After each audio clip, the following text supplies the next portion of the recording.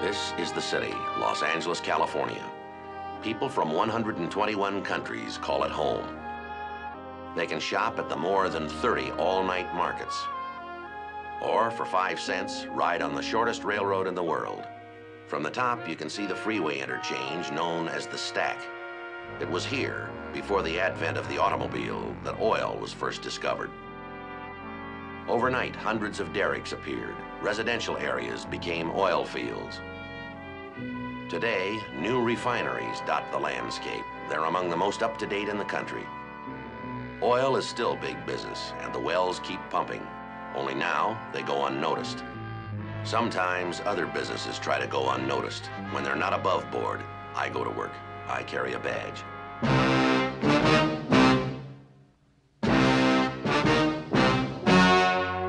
The story you are about to see is true.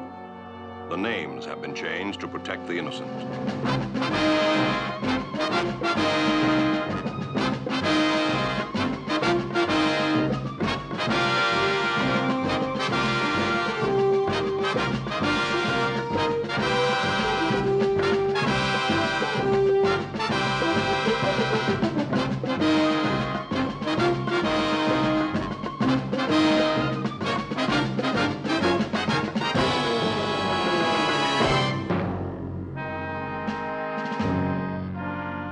Was Tuesday, March 8th. We were working the day watch out of Narcotics Division. The boss is Captain Trembly. My partner's Bill Gannon. My name's Friday. Detectives Whitney and Ellenson had just returned from field duty. They didn't look too happy.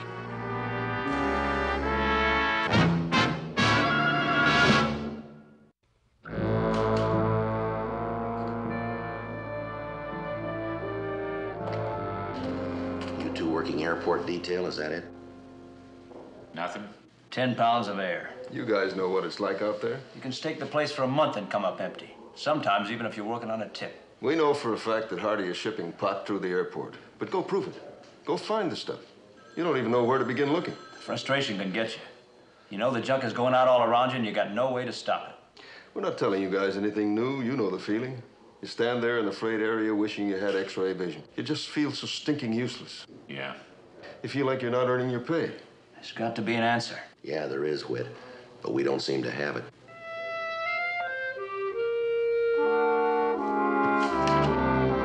Ten oh five a.m. Captain Trembly wanted to see us concerning a piece of equipment he'd asked us to check out. Come on in, have a seat. How'd it go? We tried it. It doesn't work. What's the problem? You can only use a fluoroscope to detect metal objects. The marijuana isn't metal. Well, granted, it's sometimes wrapped in foil. So is your Aunt Bertha's fruitcake. Any suggestions? All right, now look. You and I both know that a vast majority of all the marijuana in this country passes right through L.A. here. How do we stop it? How do we find it? Well, we've still got our informants working. That's not good enough. In the next few months, they start harvesting the stuff, and it gets shipped out by the ton right here through L.A. There's got to be some way to detect it. How? We're not dogs. We can't sniff it out. Dogs. What's that? Bill just said it. How about training a dog to do it? Joe, that's the craziest thing I've... Wait a minute. That's not so crazy. Maybe it's not. Where do we start? Where else? The yellow pages. Displays. Distillers. Here we go. Dog kennels. Those Continental Canines, they've got a big ad. Sentry dogs. Won't hurt to try.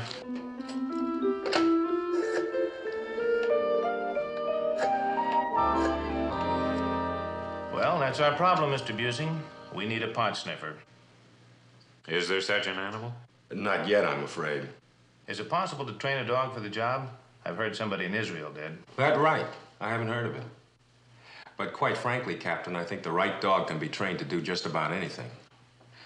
On the other hand, no one I know of has ever tried to train a dog to track down marijuana before. Seems to me the right dog could do it. Maybe. How long would it take to train the dog? After the first problem is solved, I'd say that in three months you'd know one way or the other if the dog could do it for you. The first problem. Finding the right dog. It's a cinch you can't run an ad. I wish it were that simple. To find him, you have to look for a dog with the proper aptitude. We can start tomorrow out of my kennel. We've got some 400 candidates for the job. Uh, just one thing, I'll need some marijuana. We'll never know if the dog can find this stuff if he doesn't know what he's looking for. How much will you need? Or just a small amount. Teach him the scent. Okay.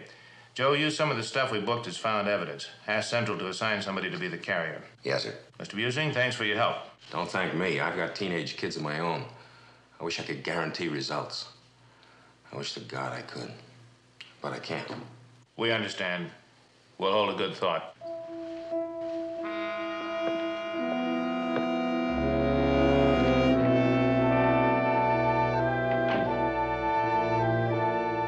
Thursday, March 24th. Nearly three weeks went by. Narcotics Friday? Yeah, that's right. Well, that's good news. In about 30 minutes. Right. We'll see you then. It was Bob Busing. Yeah? He's got the field narrowed down to three dogs.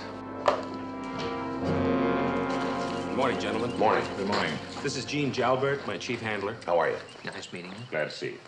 How's it look? Well, we've tested out nearly a 100 dogs. These three have shown the best aptitude. But you never know how quickly a dog will get bored with a new trick. How are they on detection? That's what we come to now. So far, we've only hidden the bag. This time, we've tried to conceal the scent of the marijuana. The burlap bag is in the dry grass over there. The marijuana is wrapped in two layers of cellophane, a layer of tinfoil, and thick wrapping paper, and then placed in the bag. Well, I guess we're ready to begin. Our first candidate is Igor. I'll get the 30 foot lead.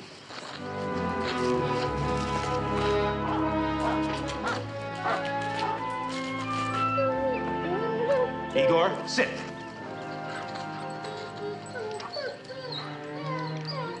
Igor, seek. Seek, boy, seek. Come on, Igor, seek. Sure a wild dog, isn't it? Yeah. Seek, boy. He doesn't look like he's got the idea.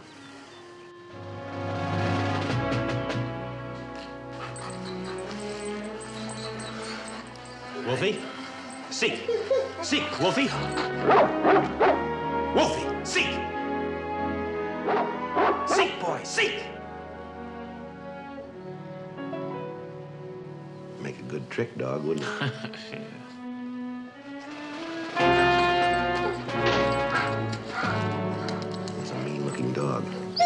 Stay. Hoshi, that's it, that's it. Hoshi, seek. Hoshi, seek, boy. Hoshi, Hoshi, seek.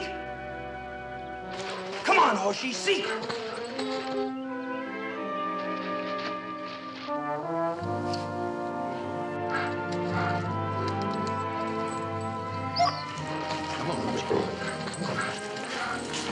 Suppose you fellas need a good, dependable grass scratcher, do you? Well, we'll keep looking.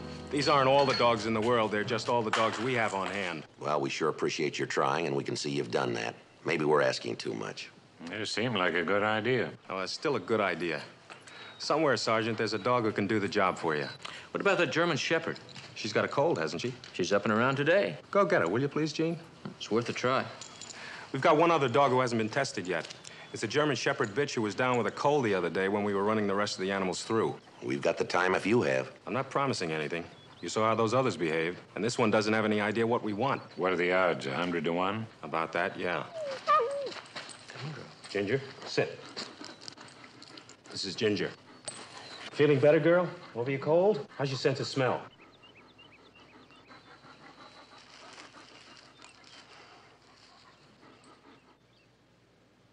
Ginger, seek. Seek, Ginger. Come on, girl, go find it.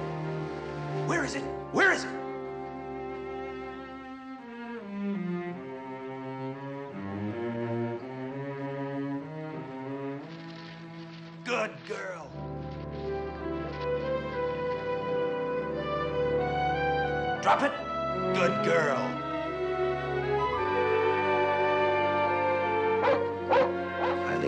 Ourselves a dog. Gentlemen, a new breed and a rare one. One of a kind. A pot smelling dog.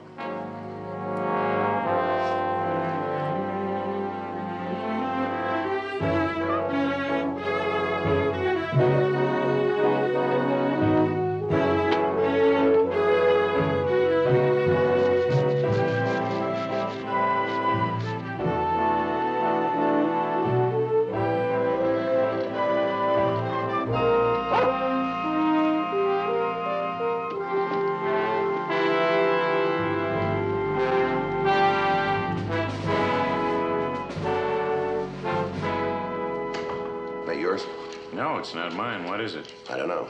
Well, open it up. Well, you open it up. Well, it must be for you, Joe. How do you figure? It's closer to your chair.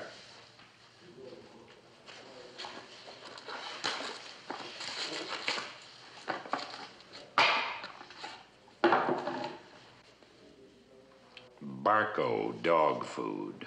Some wise guy. Be careful, Gannon. That's your lunch. I wonder if they'll sit up for it. Bark.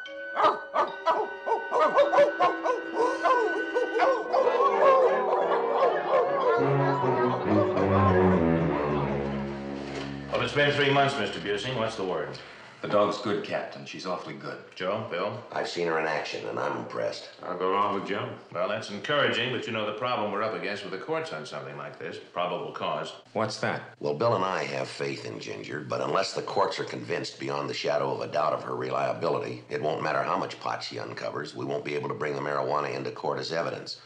We have to convince any judge that Ginger is so absolutely trustworthy that they'll grant us search warrants on her say so alone. Only that way can we use in court the evidence she uncovers. I see. Uh, how do you go about convincing the courts? We'll have to hold a demonstration. The sooner the better, and it better be good. Where and when?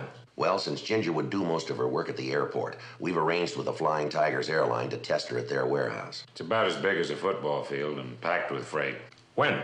Day after tomorrow, too soon? Good. Bob, have you got Ginger with you by any chance? Sure do. She's downstairs in the station wagon. Would you mind bringing her up? Our chemist has set up a test we'd like to have her take. Oh? What kind of test, Captain? Well, all I've been hearing is how good that dog is. She is. I'll guarantee it. You won't have to if she passes this test.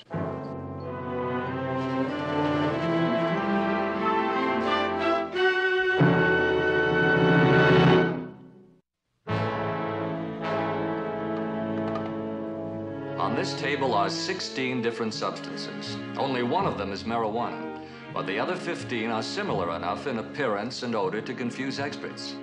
We also have a plate of dog food. That was Captain Trembly's add-in. That's plate 10. The number I'm interested in is 13. Ginger, seek.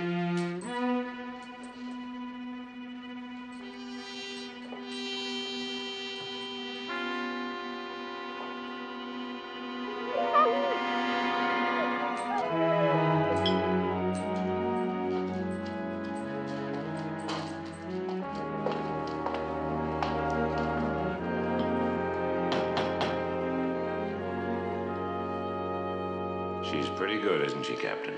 Either that or she can read.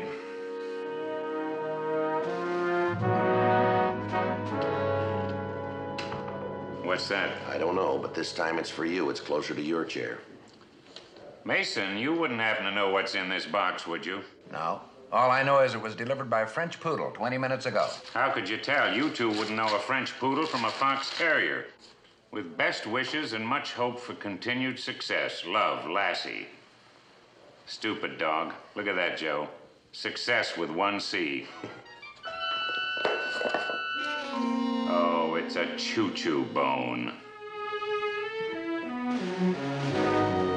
Gentlemen, in the event some of you don't know the exact reason I've invited you down here, let me explain that you're about to see a demonstration. Now, you're all aware of the problem we're up against in the detection of marijuana. The dealers do a pretty good job of disguising the packaging or concealment. Now, with thousands upon thousands of boxes, cartons, and parcels passing through our airports, bus terminals, and shipping port, it's virtually impossible to stop the flow of marijuana. Or rather, I should say it was virtually impossible. We feel we've come up with a solution. I'll ask Sergeant Joe Friday here to take over at this point. Gentlemen, this is Mr. Robert Busing. His friend's name is Ginger, a three year old German Shepherd. We believe she's the solution Captain Trembly made reference to. Now, we've had the warehouseman here hide five boxes for us among the several hundred you see around you. Five boxes. Even we don't know exactly where they are. Inside of each of the five boxes is a relatively small quantity of marijuana, some of it processed, some of it unprocessed. It's all been wrapped in plastic, tinfoil, and wax paper. It's then been packed in three separate airtight boxes, one inside the other. Bob? Ginger, seek.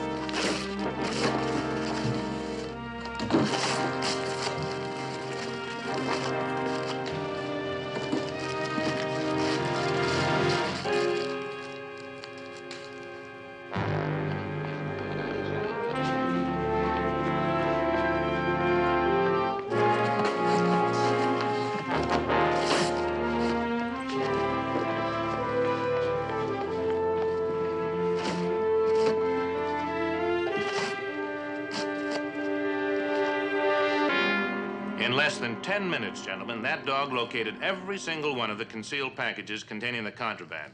A pretty amazing accomplishment, I think you'll agree. Now, I.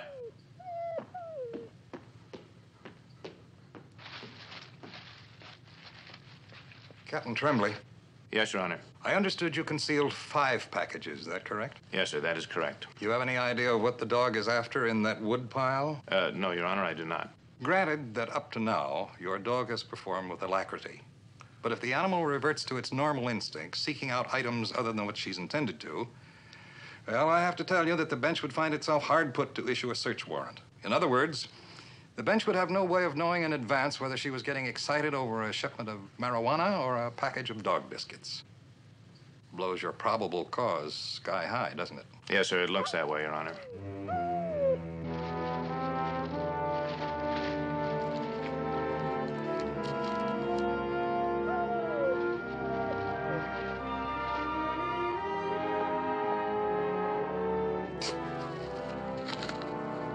Says on this envelope, property of Chief of Detectives Houghton.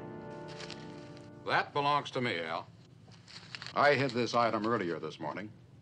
Inside this sealed envelope are just two grams of marijuana. I wanted to see how good that dog really is. Now, speaking for myself, I have no doubts at all that this dog would be invaluable to the department. What happens now? Now we wait for the decision. How do you think it'll go? Well, it's a matter of search and seizure, Bob. You see, according to law, airlines have the legal right to open any package they carry. However, if Ginger lets us know there's marijuana in a particular package, and after we obtain a search warrant, we can open that package and confiscate the contraband. But unless the courts have enough faith in Ginger's talents to grant us that search warrant on her say so alone, we can't use the contraband to convict the drug peddlers. So now we wait. Now we wait.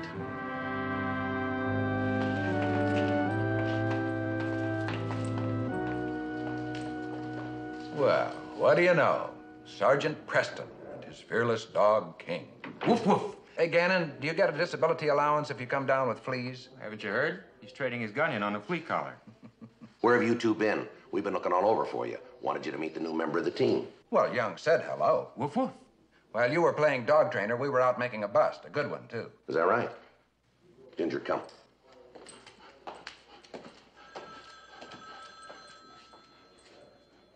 Who's holding? Ginger, seek. Wait a minute. What's going on here? You guys ought to sign this dog on with the pickpocket detail. She's a natural. What do you got in that pocket? Nothing, officer. Just my car keys and some small change. What else? Evidence. What sort of evidence? I'm gonna book it. Well, now, in your report, what are you going to call your evidence? Marijuana. I didn't hear you. Marijuana.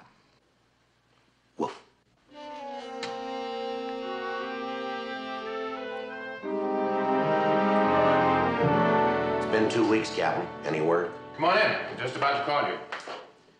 Just heard from Judge Manson. Says they'll have an answer for us in 24 hours. Yes, sir. Go or no go? He didn't say, but I got a feeling that a little nudge might not do any harm. And you can't blame the bench. They need all the ammunition they can get to help the legalistics fall into place. Yes, sir. The dog's a new wrinkle. Now, let's crack it from another angle.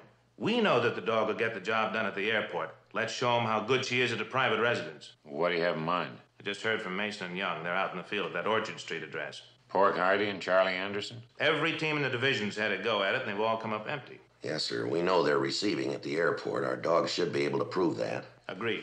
But let's take a shot at putting the frosting on the cake. Let's nail them for possession in their home. Probable cause we don't need. Mason and Young got a search warrant. They're shaking the place now. Hop out there and introduce them to Ginger. Just one thing, Skipper. What's that, Gannon? We've never worked her in a private residence, and you know how much luck we've had with Hardy and Anderson. None of us have turned as much as a seed. Let's go for broke. Yes, sir. As far as Ginger's concerned, let's win it all or lose it all.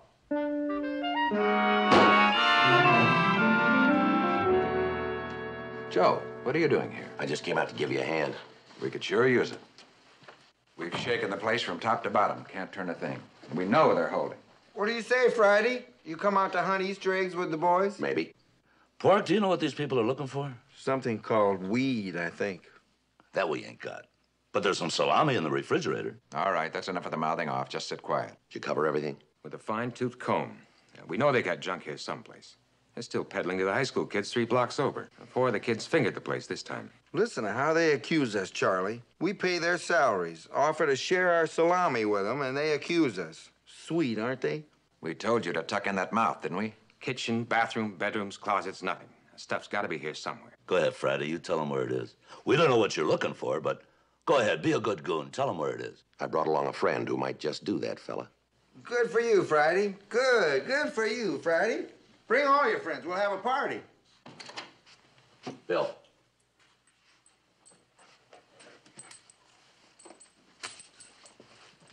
Well, looky there, Charlie. A cop with a seeing eye dog. Ginger, seek. Seek her. Where's it? Seek. Ginger. Seek girl. Where is it? Where is it? That dog better be housebroken or we'll sue. Come on, girl. Seek. Where is it?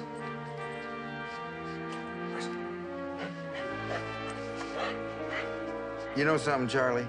What's that? I bet that mutt would like some of our salami.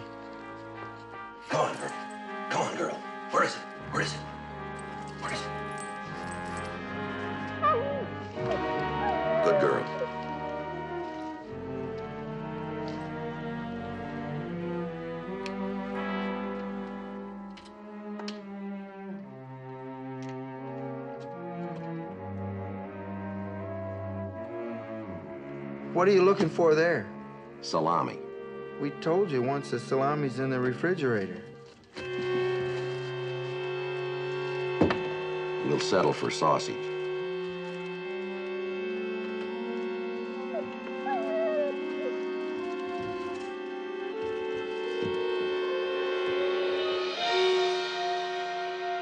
Five bricks and one lid.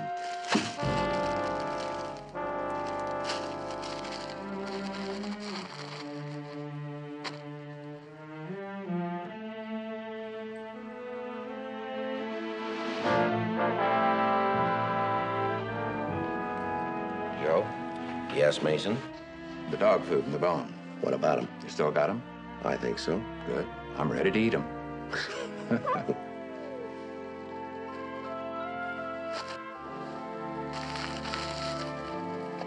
Welcome to the division, Ginger.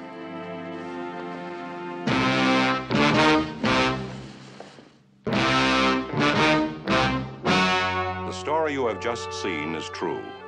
The names were changed to protect the innocent. On September 8th, trial was held in Department 184, Superior Court of the State of California for the County of Los Angeles. In a moment, the results of that trial. The suspects were tried and convicted of violation of the State Health and Safety Code, Section 11530.5, possession for sale of marijuana. The penalty prescribed by law is imprisonment in the state prison for not less than two years, nor more than 10 years.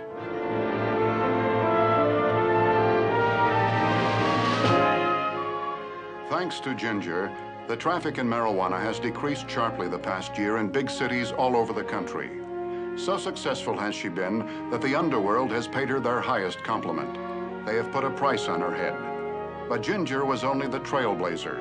Other such dogs are already on the job at bus terminals, airports, and United States borders.